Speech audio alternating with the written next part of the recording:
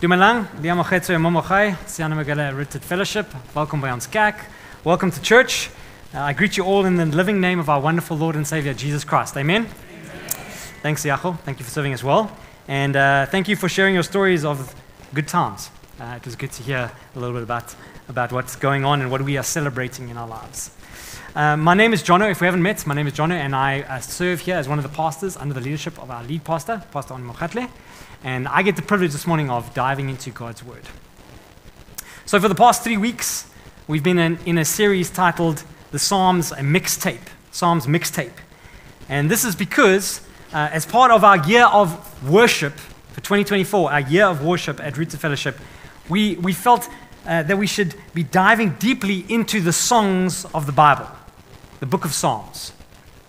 And although we won't be going through every one of the incredible 150 Psalms contained within this beautiful, poetic wisdom book found within our Old Testament, over the course of this year, we'll be covering a playlist of over 32 Psalms. And we'll be covering some of the most well known and some of the most quoted Psalms. And this morning, as I've mentioned already, I get the privilege of preaching from the next track from our mixtape playlist from the biblical book of Psalms, Psalm 16. Now, if I may just rewind a little bit, rewind our tape, uh, and, and you'll recall that our lead pastor, Pastor One, kicked the series off at the beginning of April uh, as he took us through Psalm 1, right? Psalm 1. And we saw in Psalm 1 that a life lived following God and His Word leads to abundance, perseverance, heavenly protection.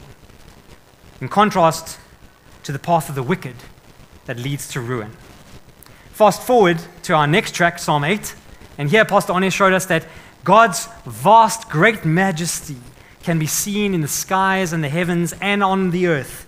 And yet, our great God and King still cares deeply for each and every single one of us. Beautiful, amen? Then we skip to our next track, Psalm 14. You'll remember that last week, Pastor Wade showed us how this track reminds us that everything on this broken earth is in ruins but God. But God sends us Jesus to save and restore us. And so, how does the next track go? Well, we come to Psalm 16 this morning. But before I push play on this next track on Psalm 16, let me hit pause and say a couple of things about this psalm, okay? In fact, I'm going to say a couple of things about the Psalms in general. Uh, the theologian Gordon Wenham says that reciting the Psalms requires involvement from the reader. And that such involvement or rec- rec- reciting alters a person's relationship with God in a way that mere listening does not. Let's rewind and hit play again. Stop, rewind, hit play again. Reciting the Psalms requires involvement from the reader, and that such involvement and recitation alters a person's relationship with God in a way that mere listening does not. Even Tim Keller says that the Psalms are not written merely to be read, but they are to be prayed, to be recited, and to be sung, to be practiced, and to be done. And so, if that's the case, as we come to track four, Psalm 16 this morning, I'm going to invite you in a moment, if, if you're able, I'm going to invite you to stand with me, and we're going to recite together from the powerful Word of God. Because it's at this point that I usually say, hey, invite you to open up your Bibles and your devices and track along with me. But, but today, we're all going to read from the screen in front of us from Psalm 16. And we're going to be reading together from the Christian Standard Bible or the CSB. And uh, because it's only 11 verses, we're going to see maybe we'll even do it twice. And so I'm going to ask you to indulge me, stand, stand with me, and read it aloud with me. And we're going to, we're going to do this slowly, okay? And as we do this, I'm going to ask you to pray these words, to truly pray these words. And so let's see. Come, Holy Spirit, lead us, move within our hearts and our minds as we say these words, Lord, indeed your words together. Psalm 16, a miktam of David. Let's read together. Protect me, God, for I take refuge in you. I said to the Lord, You are my Lord. I have nothing good besides you. As for the holy people who are in the land, they are the noble ones. All my delight is in them. The sorrows of those who take another God for themselves will multiply.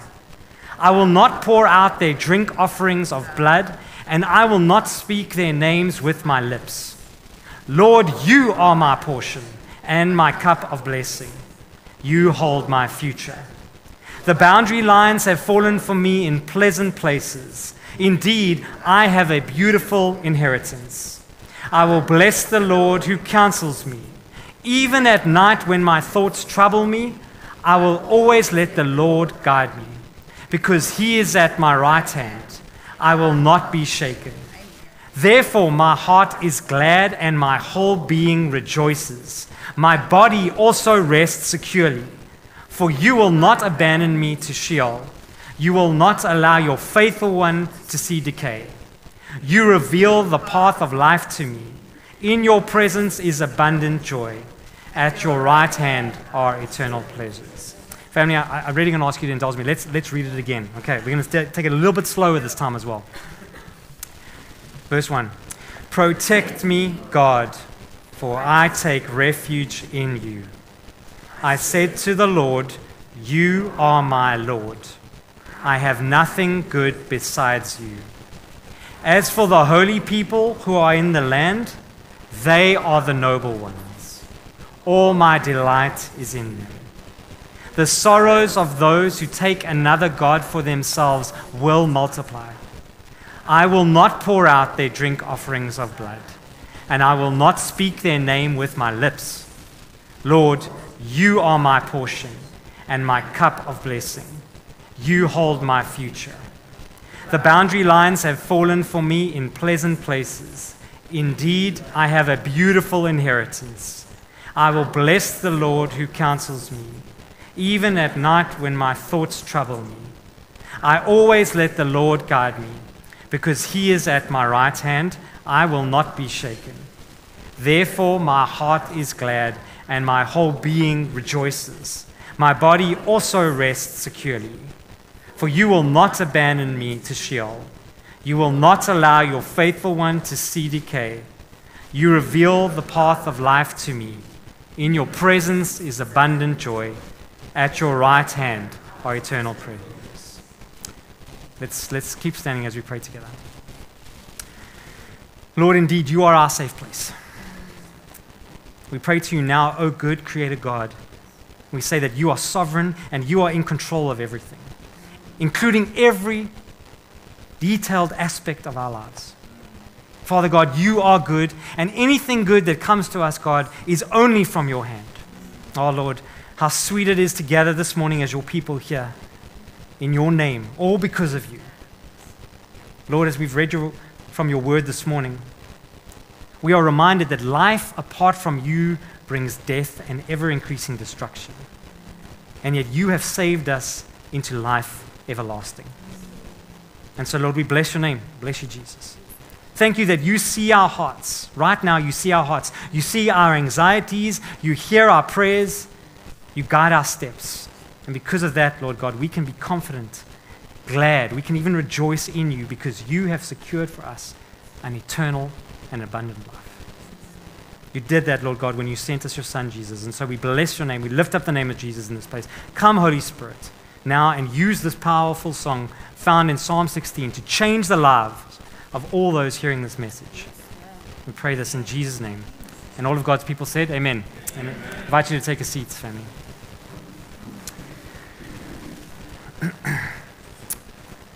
okay, so. Uh, Siako said that she uh, revealed her age. I'm going to reveal mine now a little bit. Um, any anybody remember like CD sleeves? Like, yeah, yeah, yeah, fantastic. Any, anybody like fans of music and, and, and you, you were such a fan that you wanted to hear like how the song was written and why it was written, so you like got documentaries and you even bought DVDs It's like how they made that album? That was me. So I was a big rock, rock music fanatic, uh, and I loved to buy a new album of a band that I, that I loved, and then I would buy it, and then what I'd do is I'd, I'd listen from track one to track 14. We actually listened to entire tracks back in those days, right? And we didn't just listen to the first verse and chorus, it was amazing. Um, and we listened from track one to track 12. There were like 12 tracks on an album also in those days, not four.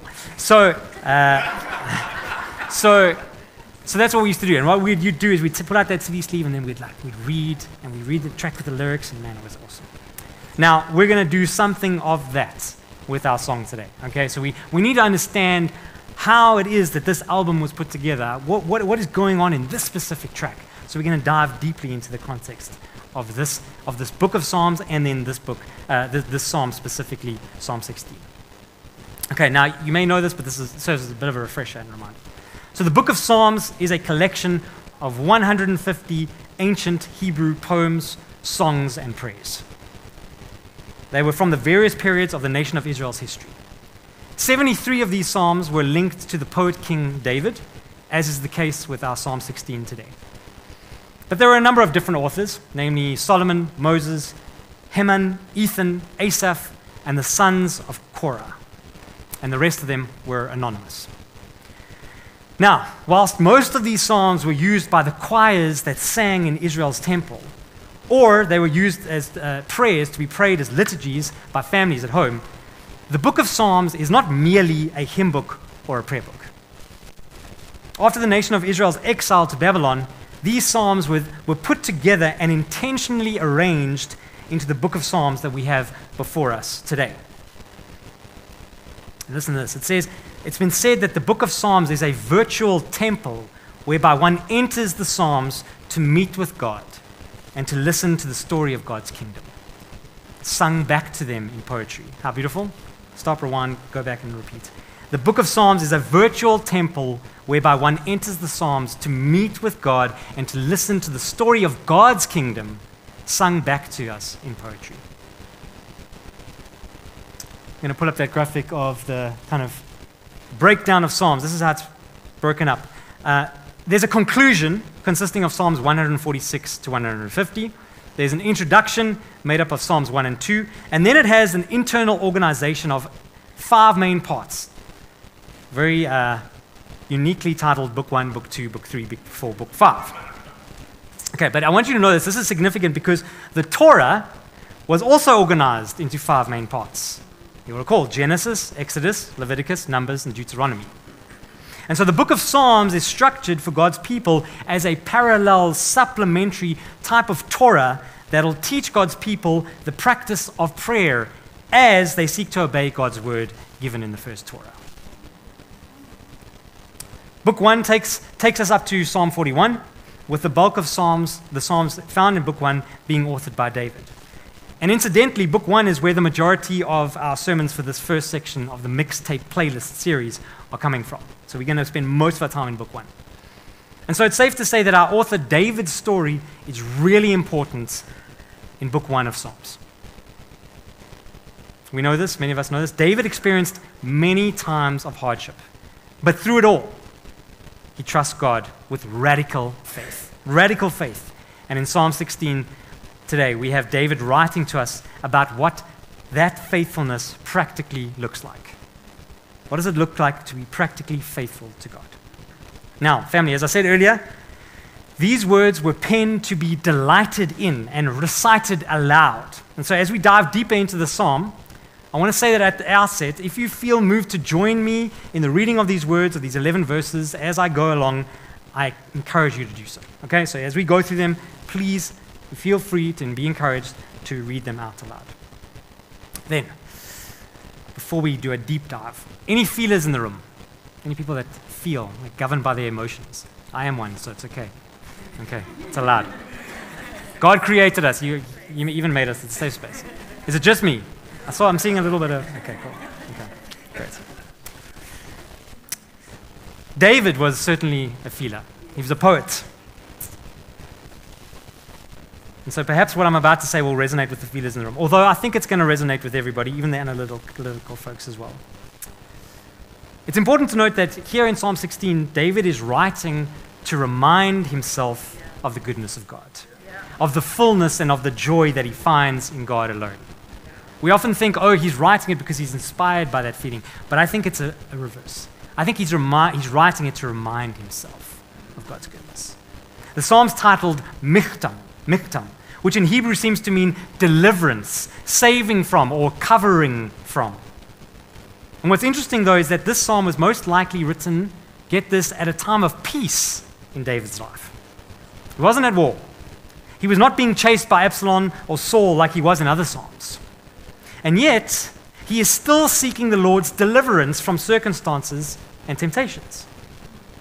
And in his head, he must have known these things. He knew the, the goodness of God, he knew the fullness and the joy that he finds in God alone, but he intentionally pens them down again so that he can meditate on them and so that he can lead his heart to believe them.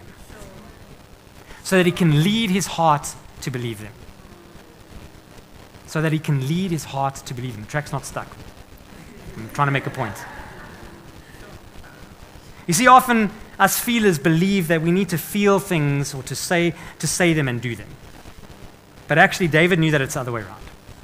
To quote a famous worship leader saying, We write songs and we sing music and we recite lines of songs and we repeat them and we play them over and over again, not because we always feel these truths, but we repeatedly sing God's truths until our hearts believe them. That is who you are, Waymaker. How's it go, Waymaker? Miracle worker, promise keeper. Loud and that's what we sang this morning. That is who you are. We need to sing it over and over and over again. And so if you came here this morning and as we read Psalm 16 out loud, intellectually you knew those words to be true. But on the inside of your heart, you were questioning those very same words. Well, then, brothers and sisters, you're in good company.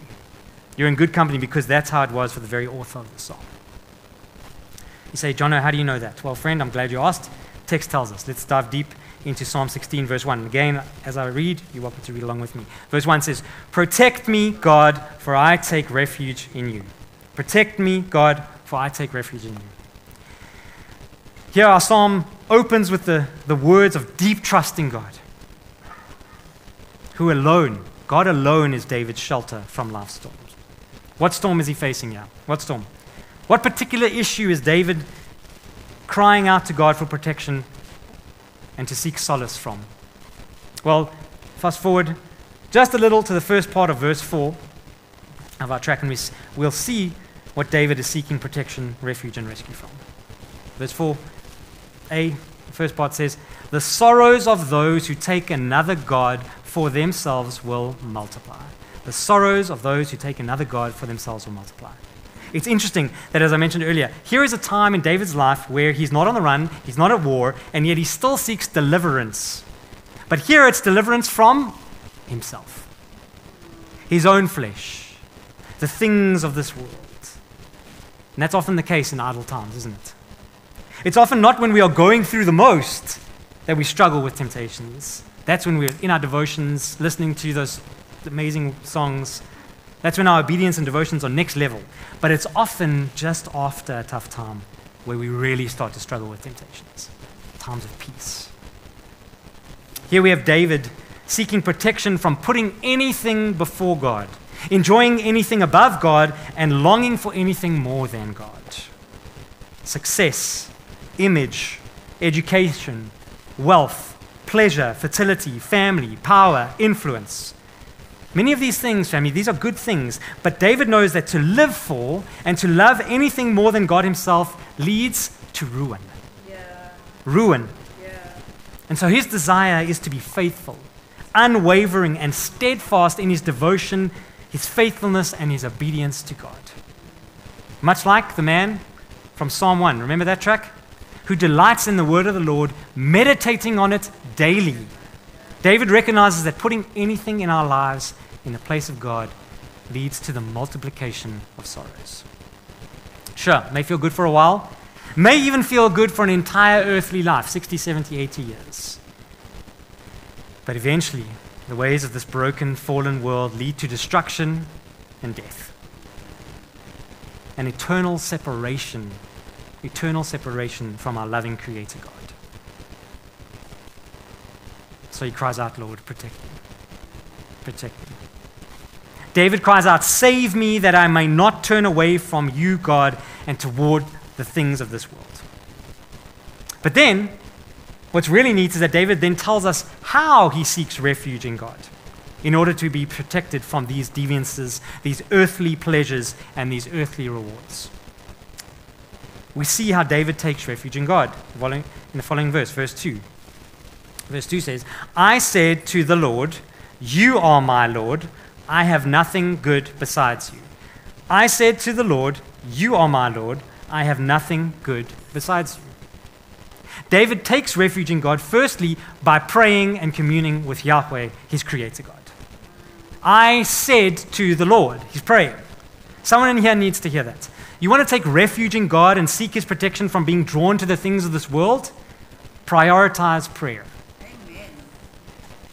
But get this don't just prioritize praying your wish list to God. Do what David does. He prays prayers that declare to God who God is and specifically who God is to him. Lord, you are Yahweh, the all knowing, all powerful, ever present Creator God. Lord, you are my Adonai, my Lord and my Master who reigns sovereign and in control, and you are my good. Everything that I have that is good is because of you, O Lord. David prays prayers and delights in who God is and who God is to him. Not only that, verse 3 As for the holy people who are in the land, they are the noble ones. All my delight is in them. As for the holy people who are in the land, they are the noble ones. All my delight is in them. Not only is God David's refuge that David prays to and exalts, but God's people are David's delight as well. Another translation, the NIV says, as for the saints who are in the land. In other words, uh, it's another way of saying, as for the believers who are here in the land. As for the believers here, they are my delight. Here, David is expressing the importance of the community of believers. They are his delight. And not only that, undoubtedly, they probably spur him on to delight in God even more. I love football. I love talking football. But I lo- there's nobody that I love talk- talking more about football with than Chelsea fans. Where were you in 2012 in that semi final when we parked the bus and we blocked Barcelona from doing anything? Where were you when we watched us win the Champions League in Munich in 2012 that night, that glorious night in their own backyard? Where were you in those COVID years in Lisbon when we won the second Champions League, a London team to win two Champions Leagues? Remember those times? Man. I love talking about soccer, but I love talking about soccer with Chelsea fans. David delights in God by delighting in God's people. Let's bring it home. Man, I delighted in worship this morning. This band here tonight, this morning, tonight, this band here this morning, it's usually a band of four or five, but there were three there were three. Man, it's a glorious story. There were three. We got one person playing an instrument that they don't usually play. They're professionally trained in another instrument, but they're playing another instrument. And they got another person playing an instrument that they don't usually play, usually killer on electric, but today it's on acoustic. Nala, I've never led, seen you lead uh, beautifully, lead worship as beautifully as you did this morning. I'm delighting not in them, I'm delighting in what God has done through his people. Amen? God took each person individually and put it together and made something more glorious. God's people are our delight. David's delight is in his fellow believers. Contrast this with the community of the wicked and the mockers that Pastor One took us through four weeks ago from Psalm 1. You want to take refuge in God and seek his protection from being drawn to the things of this world? Participate in his church. Value community prioritize, and take delight in God's people. Amen? Yeah. Saw a video this week on, on, on social media whereby a, a person gets into the car and they say, Man, church is foolish. I'm done. Don't tell me to greet my neighbor. Don't tell me to do any of that. It's, it's foolishness. And whilst I get what that person is saying, I'm introverted too. Question of the day sometimes makes me uncomfortable. Family, you need to hear this. Church is not about you and your preferences. church is about the community of believers. It's not about you and just meeting with God on the screen and then driving out early. No, no, no. It's about the community of believers, delighting in the community of believers. Church is not about you and your preferences. Carrying on, second part of verse 4. David says, I will not pour out other gods' drink offerings of blood, and I will not speak their names on my lips. I will not pour out other gods' drink offerings of blood. I will not speak their name on my lips. Do you want to take refuge from God and seek His protection from being drawn to the things of this world? Don't participate in the practices of this world. David says he dare not even utter their names. In, time, in David's time, pouring out drink offerings of blood was a practice of pagan worship that theologians believe to have involved human sacrifices. So now you may be thinking, man, well, I've never murdered anyone, taken part in a human sacrifice, so I'm all good. Well, yes, but no as well. Okay? What David is saying here is that he will not even participate in any practice that causes him to doubt God's goodness in his life. He's not going to participate in any practice that causes him to doubt God's goodness in his life. How's all the comparing on social media working out for you? Is pornography causing you to doubt that what God has in store for you is not good? How do you feel after spending 15 minutes on Instagram? Do you need to have a backup plan and take control of every situation in life just in case God forgets you and doesn't come through? David says, don't even speak these practices' names. Don't even say, oh man, I wish I had that. Man, I bet her life is easier. If only I could be like him and have their job and have their spouse and have their money, their qualification, their whatever. David says, don't even speak it. Don't even speak it. Instead, instead speak this. Verse 5. Lord, you are my portion and my cup of blessing. You hold my future. Lord, you are my portion and my cup of blessing. You hold my future. Here, David, similarly to verse 2, once again, he declares who God is. Scholars say that when David speaks of God as his portion, he is saying that God is his real, true wealth that will never, ever fade away. A portion referred to a family's wealth, but not just their portion of land. So it wasn't just a physical piece of land, it was their wealth. It included all their earthly wealth. And David says that God is his real, true wealth, which will never fade away like earthly wealth does. And when, God's, when David speaks of God as his cup, he's saying that God is his real, true pleasure and delight. God is his plan, his future, and his ultimate good. Contrast this to Jesus, right? Jesus in the gospel, he's praying to God and he says, Take this cup of dying on the cross away from me. The cross was Jesus' calling here on earth, and yet it was also his greatest glory. David is declaring that God is his calling, God is his future, his plan, his delight, God is his greatest glory. David is, in essence, contrasting God to the fleeting, destructive idols and things of this world. Family, you want to take refuge in God and seek his protection from being drawn to the things of this world? Pray prayers to God that contrast God to the things of this world. Again, don't come with your wish list. Pray to God and declare to Him that He is awesome, He is wonderful, He is majestic, He is holy, He is completely set apart from the things of this world. He is eternal, He is glorious, He is great, He is merciful, He is graciously and unconditionally loving. He is sovereign and He is in control, and He holds your future in the palm of His hand no matter what your present situation tells you. Your future is absolutely wonderful. It's an eternity with your Maker. Eternity with your Maker. But David's not done. He's not done. Continue on. Similar vein, verse 6.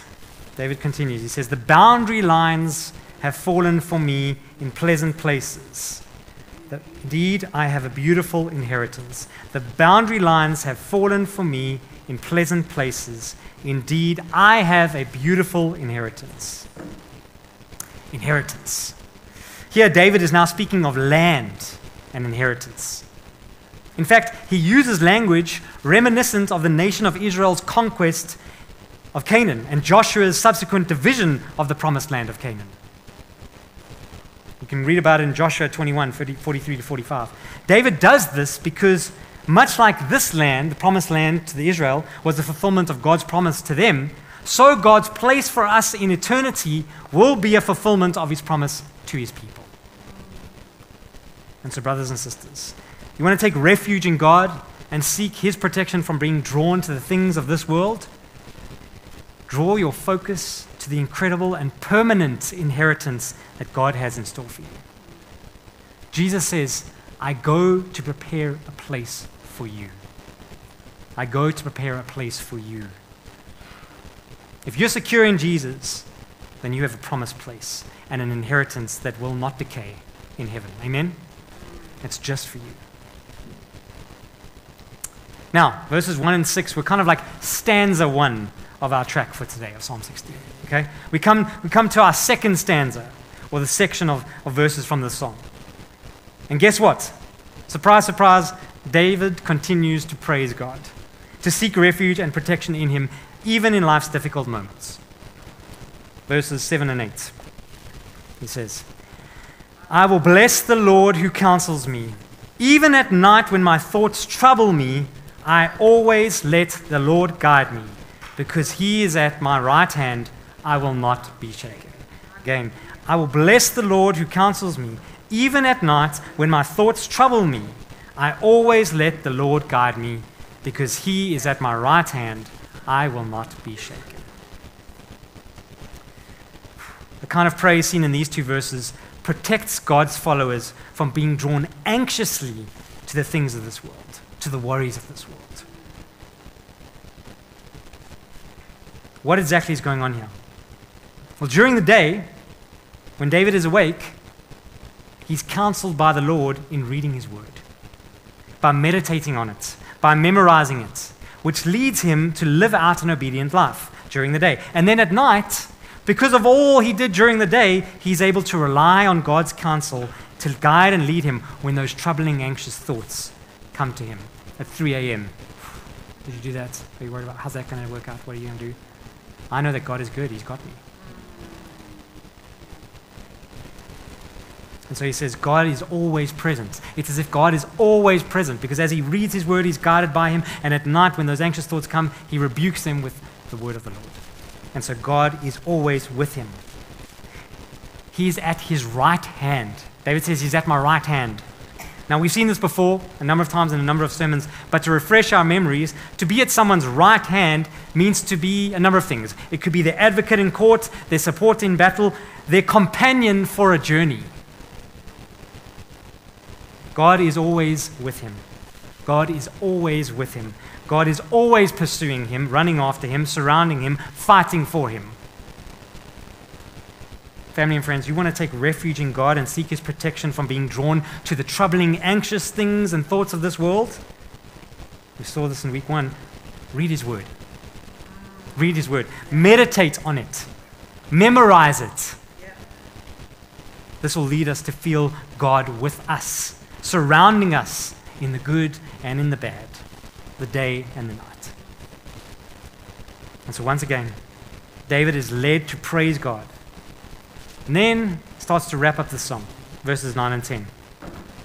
He says, Therefore my heart is glad, and my whole being rejoices.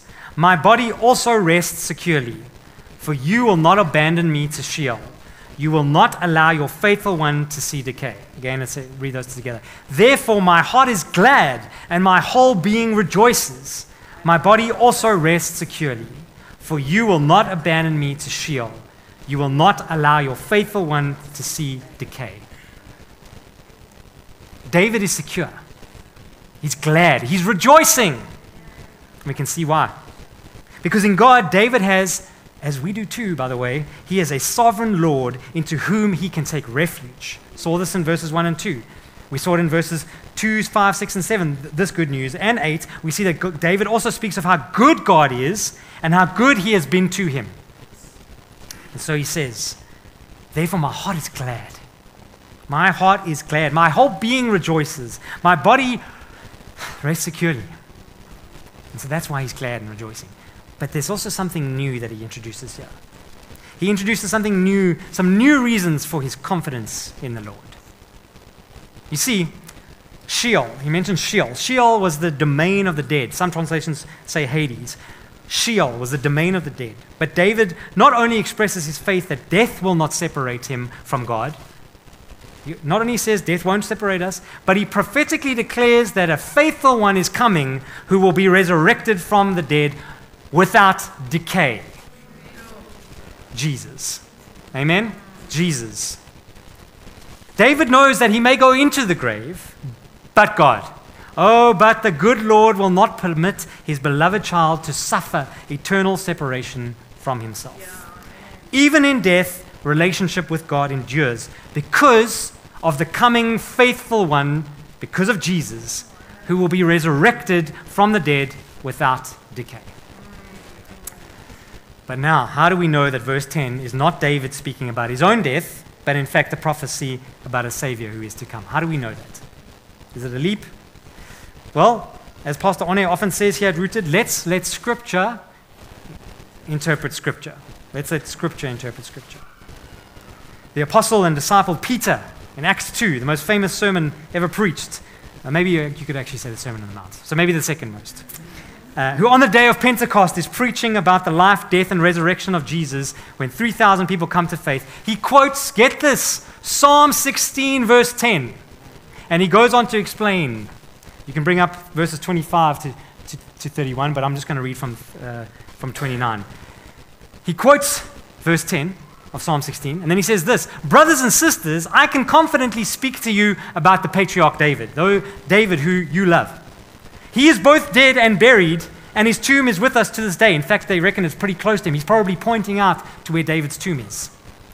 Since he was a prophet, he knew that God had sworn an oath to him to seat one of his descendants on his throne. Seeing what was to come, he spoke concerning the resurrection of the Messiah. He was not abandoned to Sheol. The Messiah, Jesus, was not abandoned to Sheol, and his flesh did not experience decay.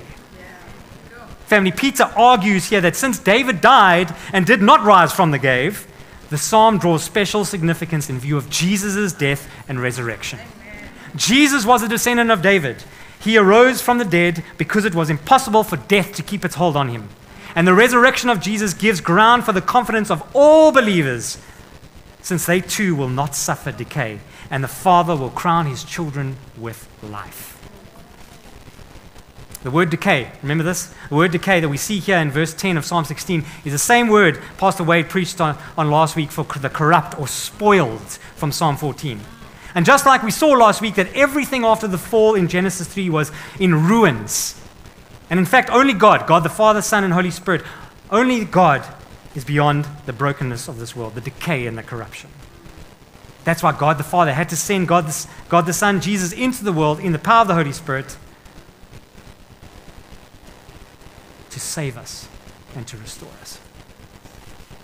And Peter, in Acts 2, helps us to see that the earthly King David, his words were in fact about the only heavenly king who came and defeated sin and death, who could not be held by the dying grave, who rose and ascended into heaven, and who raises all of those who put their faith and trust in him to be with the Father in the power of the Holy Spirit forever and ever. Amen. Family, today, David and then Peter have once again brought us to Jesus. Tim Keller writes this. He says, Most of all the Psalms read in light of the entire Bible bring us to Jesus. The Psalms would have been Jesus' songbook, and it's safe to assume that Jesus would have sung all of the Psalms, all 150 throughout his life. He knew them by heart, and in fact, it is the book of the Bible that Jesus quotes more than any other.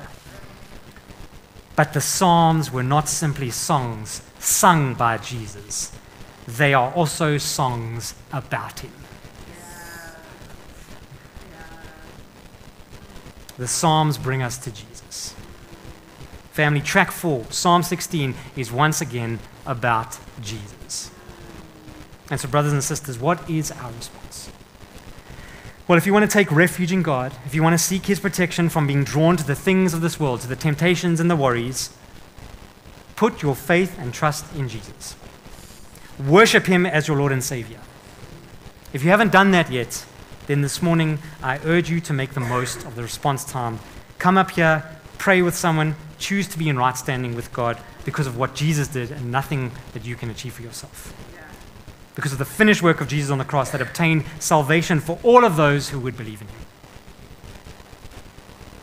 And if we have placed our faith and trust in Jesus, then we need to ask ourselves some questions as we come to our final verse for today, verse 11. David says, You, O God, reveal the path of life to me. In your presence is abundant joy. At your right hand are eternal pleasures. You reveal the path of life to me. In your presence is abundant joy.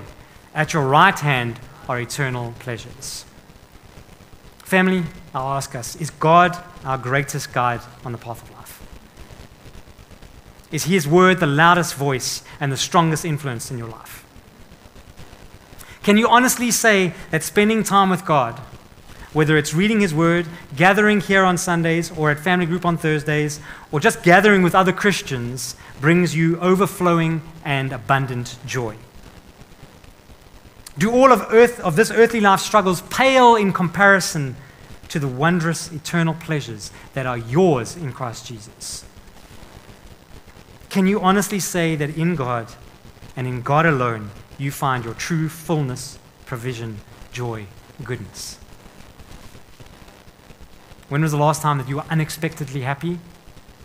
Was it when you reflected on who you are, whose you are in Christ, on what you have in Christ?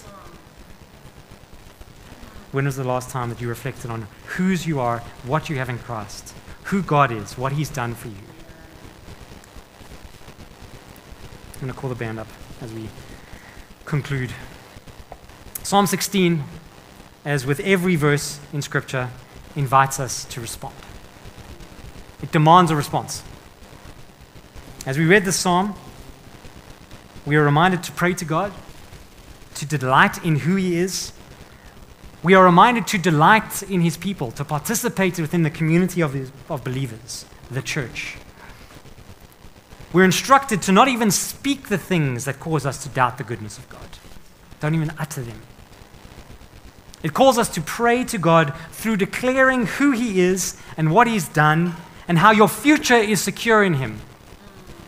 We're worrying about tomorrow. Are you aware of the eternity that you have? We're worrying about tomorrow, but are we aware of the eternity that we have secured in Jesus? I ask us again today, I ask myself, I ask you, is God our satisfaction? Is He our fullness, our joy? Are the things of God, worshiping Him, gathering with His people, delighting in His word, are they our priority? Is Jesus your Lord and your delight?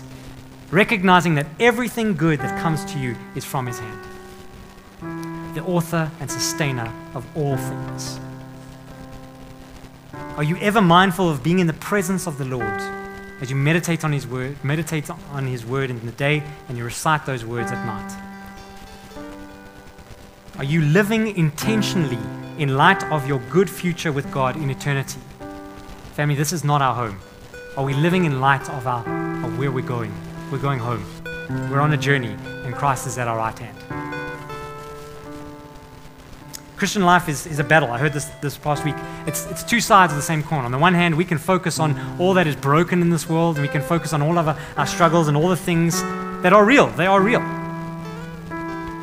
Or we can draw our attention, like David did, and remind ourselves, no matter what we're feeling, to who God is. Jesus, God the Holy Spirit, God the Father, we have secured for us because of the finished work of Jesus. And so, which side are you going to focus on? I'm going to invite you to stand and pray. And then we're going to respond. We're going to sing. We're going to sing to God about who He is and what He's done. Let's pray. Lord, oh Lord, we, we just come saying that so often we come to you with our wish lists of things that we want, much more than wanting to spend time with you. We come confessing that so often our happiness in this life is, is rooted in things, fleeting things music, food, shows, our circumstances, even the weather, Lord. And then when suffering or hard times enter, we see that these things are actually fleeting, they're inconsistent, so, Lord God, without you, without your constant favor, without your constant presence in our lives, nothing is actually a good thing. Apart from you, Lord God, nothing is good. And so, Lord God, Holy Spirit, come, we come to you now this morning. Refresh our hearts, refresh our minds. Remind us of the finished work of Jesus. And Lord God, may we receive once again what Jesus did for us with a fresh perspective, with thanks, giving glory to you. And may we rest in that hope that we have found in you, Jesus. Lord, we, we just come declaring that you are our Lord. You are our good, our fullness, our satisfaction, our joy, our refuge. Lord God, we went to sleep last night and we woke up this morning all because of your grace, not because of anything we did. And so, Lord, cause us to, to remember this fondly, to joyfully acknowledge that, Lord God.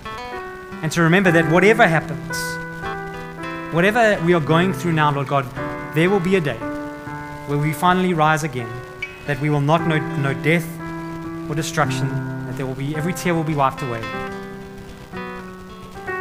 and we will rest in your goodness, your fullness, and joy forever.